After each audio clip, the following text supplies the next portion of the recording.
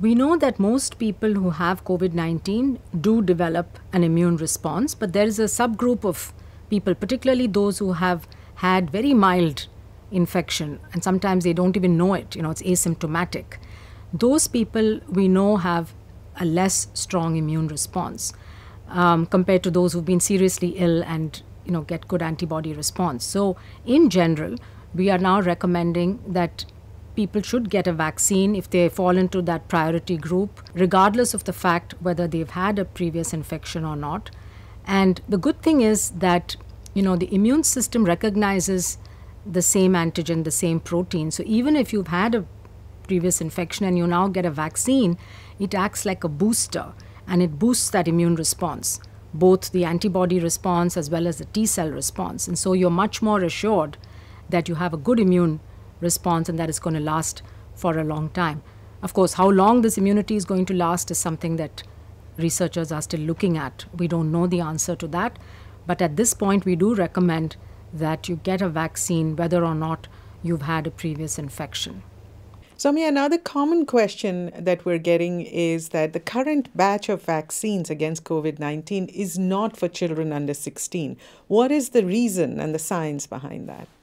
So, whenever new drugs or vaccines are developed, they go through this clinical trial, right? The testing in people with the disease in order to make sure that they are both safe and effective. And this usually starts with adults because, in case there is an unexpected side effect that we don't know about, we don't want children to be the first ones exposed. So, all the vaccines that have been developed so far have been tested in people over the age of 18 years, or in one case, 16 years. And so that's the population for which there is data. That's the population for which these vaccines are being recommended. Because COVID 19 is a much more serious and deadly disease in the older people, all the developers have ensured that older people and people with underlying diseases like hypertension, diabetes, and heart disease have been included.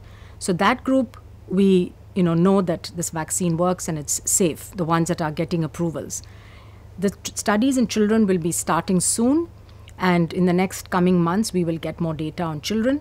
Also, supplies are limited. Global supplies of vaccines are limited, are being targeted to those at highest risk initially. So, by the time we get the data on children, there's more vaccines to go around. We will then make the guidelines for uh, vaccination in children. But as of now, vaccines are for people above the age of 18 years.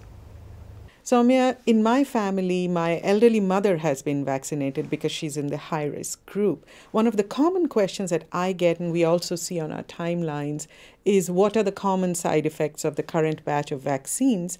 Also, when should one call one's doctor after vaccination?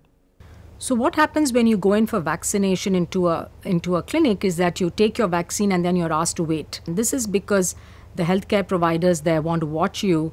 Very rarely you might have an allergic reaction, but if you're in the clinic, they can take care of it. So that's why you're asked to wait. Um, beyond that, uh, you may have so, you know common symptoms after vaccination are usually a pain or soreness or redness or swelling in the arm at the site of the injection might get a low grade fever, you know, body ache or a headache or just not feeling too good. And this is uh, expected because it's the body's immune system reacting to this antigen that's been put into the uh, into the body and an immune system is gearing up to fight. So that's quite common. It usually lasts two or three days not more than that and then you're you know feeling absolutely fine. Going beyond the first three or four days if you develop anything unusual or if any of these symptoms are persistent or you have other unusual symptoms that you don't normally have, then it might be worth going and reporting to the same place where you got your vaccine or if you've got a mobile app, you could do it through that because it's important that we track people who've been receiving these vaccines and record any unusual side effects that may occur. And we're collecting a global database now. The good thing is that Till today, about 100 million vaccine doses have been deployed worldwide just in the last two months. And so far, there have been no big warning signs or red flags. But we do need to continue that follow up and the data. So, you know, report back if anything unusual is going on, but expect some mild uh, side effects which would last for a few days. Thank you, Soumya. That was WHO's Chief Scientist, Dr. Soumya Swaminathan. Until next time, then, stay safe, stay healthy, and stick with science.